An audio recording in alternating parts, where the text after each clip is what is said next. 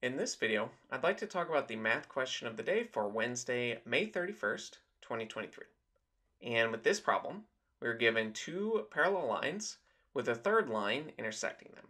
And we need to figure out this missing angle x.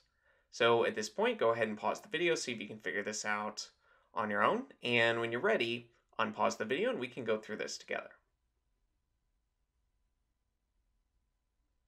Now, assuming that you have attempted the problem, let's start working through this.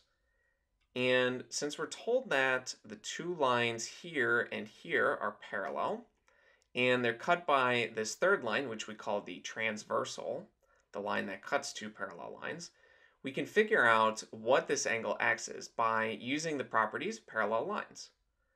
When two lines are parallel and they're cut by a transversal, if we know one of the angles, we can figure out the rest of the angles.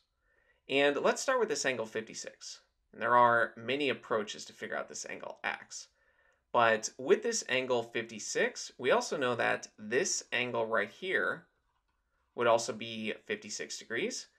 And we call these two angles corresponding angles since, in effect, they correspond to each other.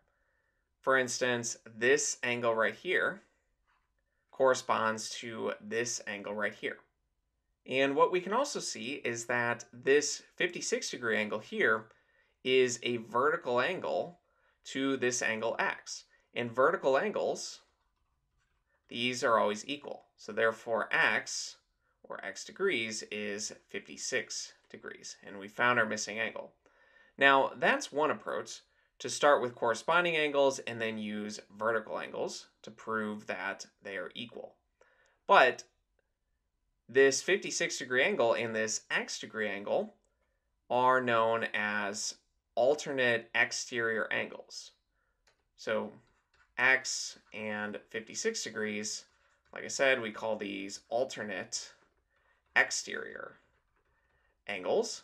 And we say alternate because they are on alternate sides of this transversal, and they are exterior because they are on the outsides of these parallel lines.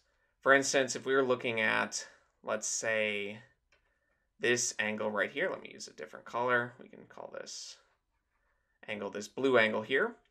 This angle here, since it's vertical, this is also 56 degrees. This is equal to this pink angle here, this 56 degree angle. And these here are called alternate interior angles. They are alternate since they're on either side of the transversal, but they are interior since they are between the two parallel lines. So the vocabulary is relatively straightforward, but it's generally true that corresponding angles are equal, alternate exterior angles are equal, alternate interior angles are equal as well.